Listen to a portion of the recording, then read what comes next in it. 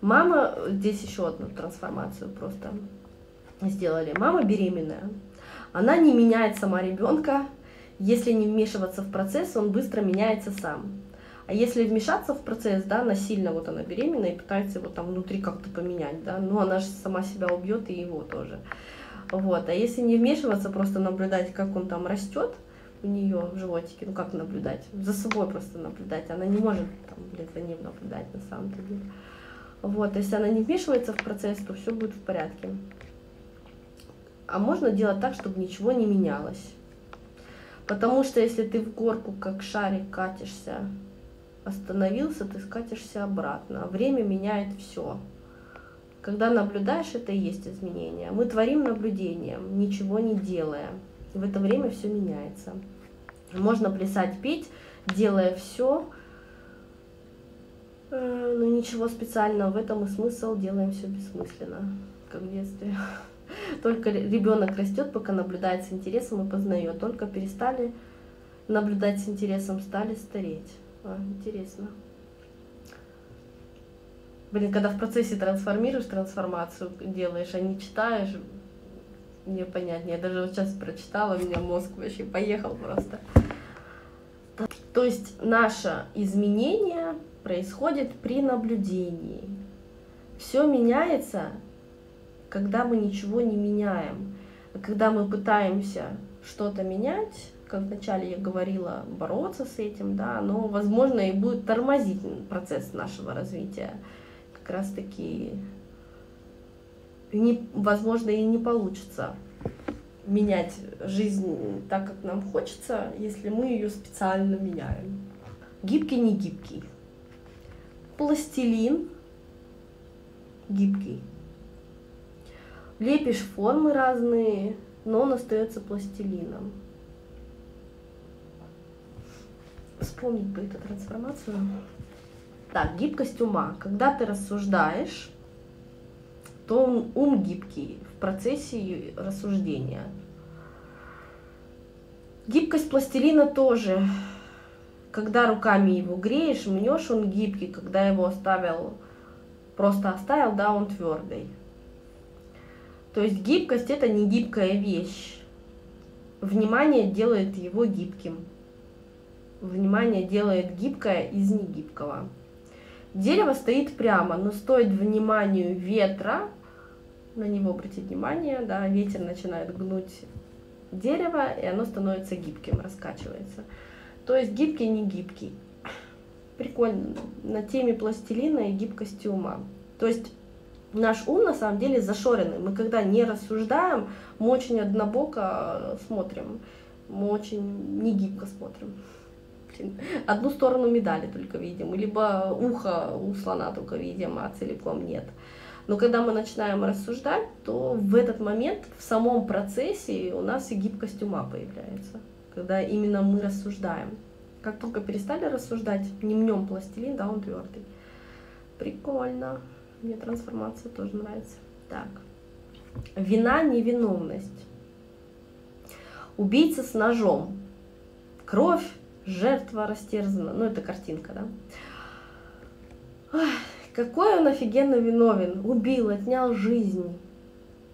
То есть убийца убил часть себя.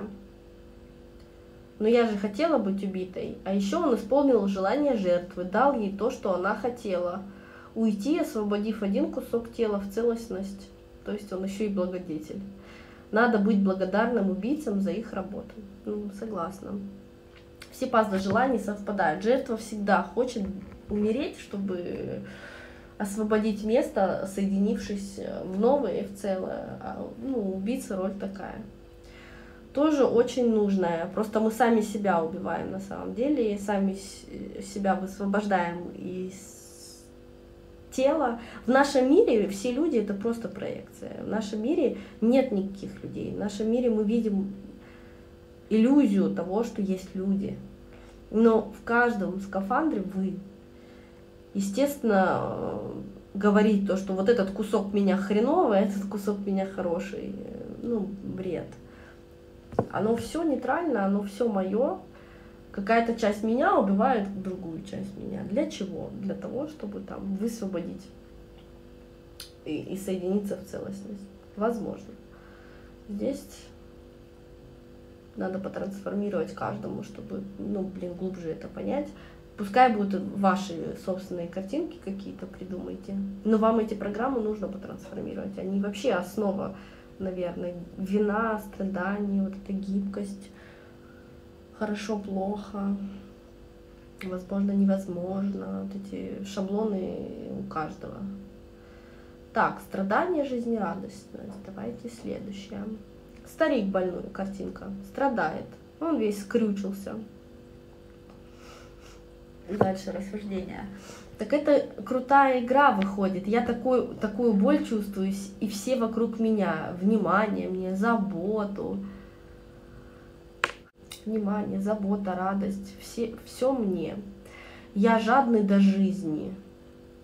Жадный до внимания, заботы, до радости. Страдание показывает мне, куда мне нужно двигаться. Что мы хотим там, где жизнь, там, где застой. Жизнерадостность – это страдание, потому что мы в розовых очках не видим путь, затыки. А, ну да. Многие, знаете, еще имеют такой шаблон, хотя это ни хрена не шаблон. Типа я вот порадуюсь, а потом мне плохо. Ну, вы просто в крайность, опять же, входите, когда это как маятник. Две крайности, они нейтральные.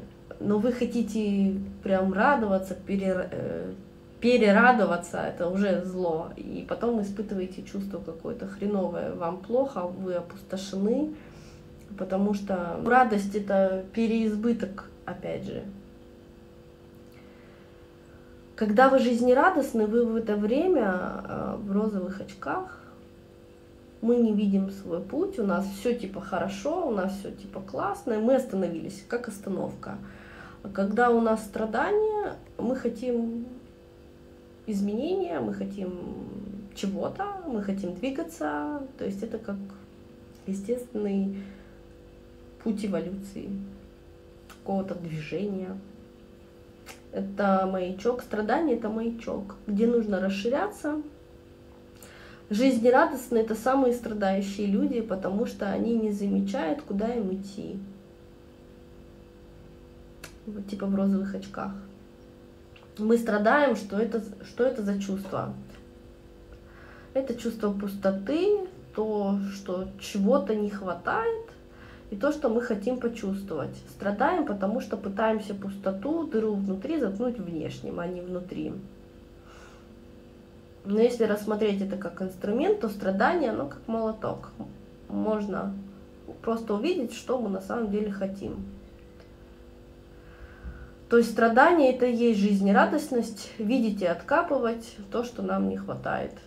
То есть страдание это и есть кайф, когда мы можем увидеть, какие чувства в нас запрятанные, и что мы на самом деле хотим чувствовать. Это и есть познание себя, это и есть любовь к себе. Видеть эти чувства и давать их себе. Блин, прикольно. Короче, страдание — это радость. Интересно.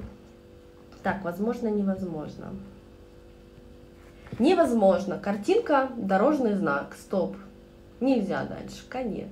Такая вот картинка сразу интересно, а что там, как можно проехать по-другому, какой там путь. То есть там, где интерес, это уже поток, который возможен, но как-то по-другому. То есть э, невозможность это инструмент, обратить внимание, возбудить в себе этот интерес, возбудить нашу силу, маячок узнать новое. То есть невозможное становится возможным, когда все возможные тобой варианты невозможны. Блин, круто. Тогда придет какая-то новая невозможная возможность. То есть невозможное становится возможным, когда мы уже все возможные варианты с вами обмусорили, знаем, проходили, они уже нам не интересны, они нас уже не двигают, э, мы уже там в них остановились. И когда нам интересно, как же, блин, по-новому может быть, то сразу вот эта наша невозможность становится возможным. Как только мы себе говорим, да это невозможно, включаем сразу интерес, блин, а как же бы это произошло? Ну интересно же, как невозможно может стать возможным? И оно становится возможным, возможным, как только мы обратили на это внимание. И это круто, блин, иметь такой маячок. Как только мы обратили внимание, то новое невозможное, то новое невозможное становится возможностью. Класс. Вера недоверия. Девочка в, цен, в церкви верит в Бога, сидит там, пришла на иконку, смотрит, забыла, что она творец, что ли. Кому она верит? Она всем верит, а себе не доверяет. То есть она одновременно верит и не доверяет. Ну, логично. А если во что-то веришь, значит не доверяешь своему знанию. Ну да, если я верю, то я не доверяю знанию, потому что если бы я знала, мне бы верить не пришлось. А доверие тут, когда доверяешь, значит веришь. А доверие тут, когда доверяешь, значит веришь в это. А значит доверие и недоверие это одно и то же. Блин, ну логично. Типа я верю в то, что знаю, а если я верю, значит не доверяю знанию. Ну да, я могу верить в то, что знаю, а знание не нуждается в вере, то получается абсурд. Оно одно и то же, что верие, что недоверие, что знание, что незнание. Получается одно и то же. Зачем верить, если знаешь? Логично.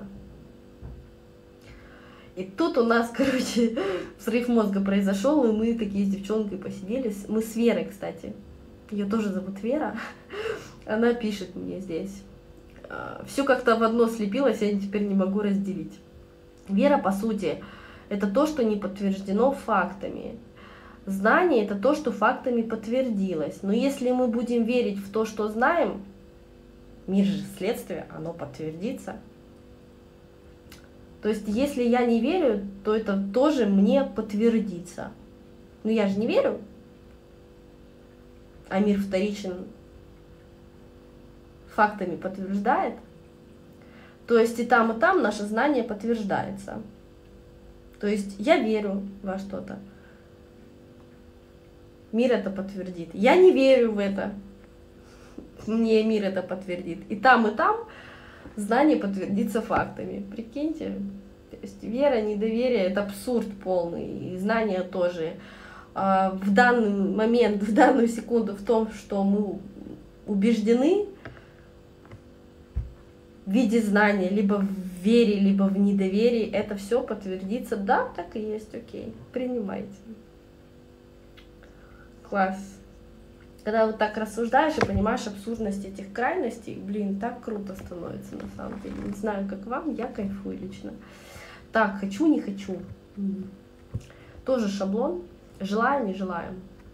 Ребенок ревет. Не хочу есть. Ну, значит, он в это время хочет что-то другое. Или вообще он ничего не хочет. Но вообще ничего не хотеть, это хотеть ничего. То есть ничего это тоже что-то, значит, все равно он хочет что-то в любом случае. Значит, он что-то чувствует, что что-то хочет чувствовать. Короче, мы всегда что-то чувствуем, когда мы говорим, что я ничего не чувствую. Просто не понимаем, Вопрос, как на это реагируем. Когда вы говорите «я ничего не хочу», это, кстати, очень частый вопрос в комментариях, под видео, блин, на консультациях, на курсах. Я ничего не хочу, я ничего не чувствую. Вы все это чувствуете, и вы что-то хотите. Вы уже чувствуете, что вы хотите что-то чувствовать. Вы уже чего-то хотите, не хотя чего-то другого. Ну, в любом случае, а, ничего это что-то, и даже чувство ничего это тоже какое-то чувство. И вы всегда что-то чувствуете, и вы всегда что-то хотите. Просто э, реагируйте, расшифровывайте, там, не знаю, обращайте на это внимание по- по-разному. Но вы всегда что-то хотите и всегда что-то чувствуете. Вы не можете, мы же не роботы, блин, мы не можем отключить все и ничего не чувствовать. Короче, хочу, не хочу. Я вообще даже не поняла, как мы это трансформировали, но вроде ничего не хочу, а это уже что-то. Прикиньте. Новое, старое. Давайте следующий шаблон. Наше рассуждение. Ты еще старое не почувствовала, не обращала внимания. Оно уже все есть. Нет, давай, так я прочитаю. Только ты еще старая даже не чувствовала, не обращала внимания. Это я просто переписку читаю, поэтому иногда не сама не вкуриваю, что у нас там написано. Только ты еще старая даже не чувствовала, не обращала внимания. Оно уже все есть, все новое уже давно есть. Новое это хорошо забытое старое. Я собираю мешок вещей выкинуть, и потом такая, не примерить ли по-новому, надеть, разглядеть. И потом я ношу кофты и джинсы, любимые по пять лет. А, ну, это я писала. Короче, мне вообще не надоедают старые вещи, если я на них смотрю по-новому. Новое это старое, а старое это новое. Почему? Новое это старое. А, понятно. Новое это старое. Все, что я в новом уже знаю, ну, оно устарело в эту же секунду, здесь, сейчас. Логично. Нежная, грубая. Роза, шипы, они что, грубые? А роза сама по себе нежная, да, ну, мы можем грубо уколоться. Садовод ветки у дерева отрезает. Он что, грубый? Нет, он нежный, внимательный и заботится. Грубость это чрезмерное зло. То есть грубость это чрезмерное внимание. Сила более сильная, чтобы достучаться. Интересно. Нежна в грубости, грубый в нежности. То есть грубость это перебор нежности, получается. Это перебор внимания. Грубость это перебор внимания, чтобы достучаться. Может быть. Вообще не помню, что тогда я словила за инсайт. Сейчас он для меня какой-то непонятный. Надо еще порассуждать. Спокойно, беспокойно. Спокойствие в беспокойстве, а беспокойство, оно в спокойности. Когда я слишком спокойна и ничего не происходит, я говорю такую фразу, что хочу, кого не знаю. Ну, есть такая фраза, да. Когда мне слишком спокойно, у меня включается внутреннее беспокойство, что я хожу, маюсь, ну, вроде все хорошо, вроде все спокойно, не знаю, чем заняться. Тише да гладь, короче. У меня реально внутреннее беспокойство включается, когда все вообще прекрасно, и я остановилась. Мне тогда начинают долбить со всех щелей то, что, ну, вот эти мои беспокойства проявляются, что что-то надо делать, чем-то заняться. То есть внутренняя движуха, она не происходит, и мне от этого блин, беспокойно. Поэтому, когда беспокойство, нужно спокойно радоваться. Блин, у нас движуха, потому что спокойно только покойники. Мне спокойно от того, что все крутится, вертится, двигается, и на душе спокойно. То есть вовне движухи, а на душе при этом спокойно, потому что, блин, движухи. А когда я спокойна, у меня на душе беспокойно. То есть спокойно, беспокойно одновременно, как оно проявляется. Вот так вот и проявляется. Мы все стремимся к покою, на самом деле, да, чтобы все было спокойно, все было ровно, решить эти проблемы, решить эти движухи. Мы всегда хотим, чтобы все закончилось, вот это вот, вот эти решалки всякие, проблемки. Вот, чтобы у нас была безмятежность такая, класс. Ну, вы в этой безмятежности проживете, ну, день, ну, два, а потом вам станет пипец как скучно. И ваш мозг будет входить в депрессию, слишком все ровно и хорошо. И мы опять будем искать себе качельки. Нормально так. Удовлетворение и неудовлетворенность. То же самое. Когда у нас неудовлетворенность, у нас просыпается интерес. Неужели мне все достаточно, да? Ну и тогда мы идем, блин, срочно себя удовлетворять. То есть я удовлетворена своей неудовлетворенностью. То есть мне хорошо, что я не удовлетворена, я иду дальше, дальше, дальше, дальше, да. И я удовлетворена, что у меня есть интерес э, познать новое, познать, в чем я не удовлетворена. То есть получается удовлетворенность и неудовлетворенность. Да и нет, оно вместе. Тоже круто. Правда, неправда.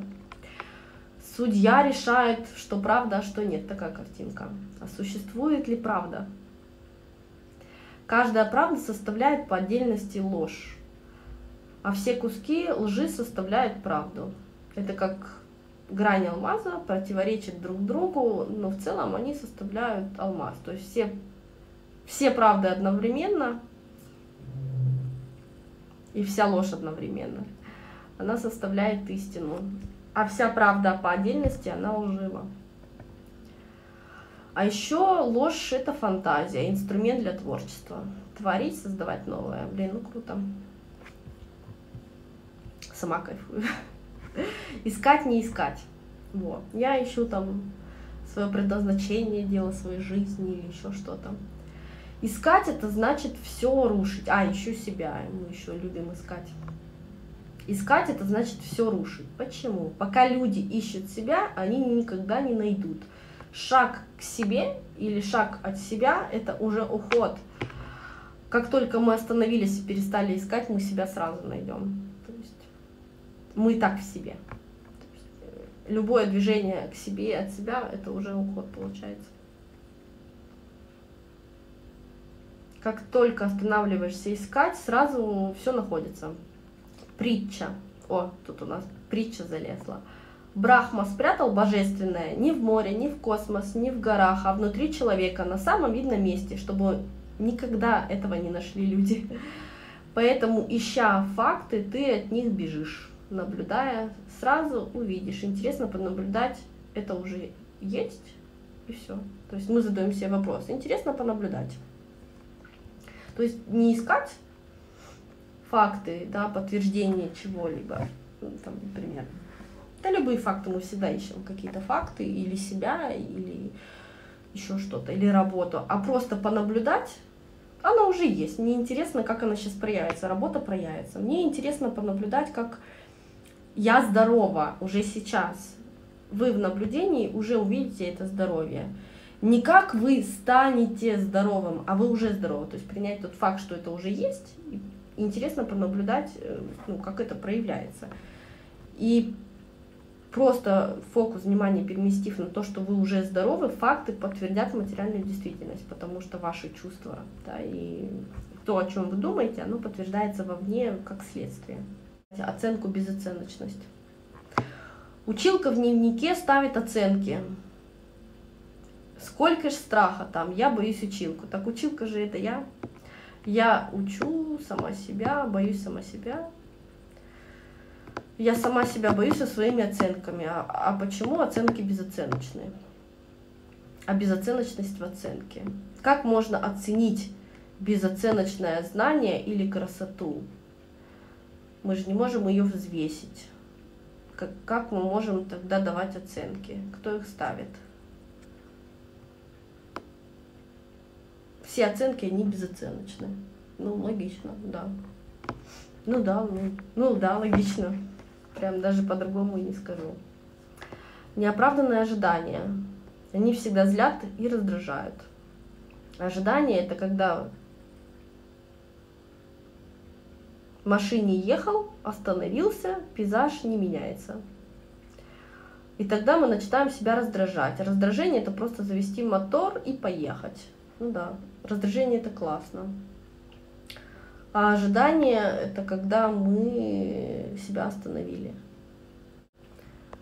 Чтобы решать проблему, первым вам нужно перестать решать, второе выявить шаблоны мышления и все, и просто сидеть их трансформировать у себя в голове, не вне, не вовне решать, а в голове решать. Как это решаем? Сидим, трансформируем. У мужа проблемы, так, у меня проблемы с творчеством, не у мужа. У мужа проблема с документом, это у меня проблема с правилами какими-то. Программу правил трансформируйте. Как надо трансформируйте, надо, не надо. Получается, не получается. Вот доку с документами мужа не получается. Вот программа получается, не получается тут же. Мне пришел ответ, что муж зависит от меня, потому что у меня есть документы. Да не он от вас зависит. Вообще забудьте все, все внешние факторы, везде вы. И отталкивайтесь, чтобы найти все эти шаблоны мышления о том, что весь мир вторичен и создан вашими чувствами. И все, все, что вы вокруг видите, это как будто вы смотрите в зеркало, это ваше отражение.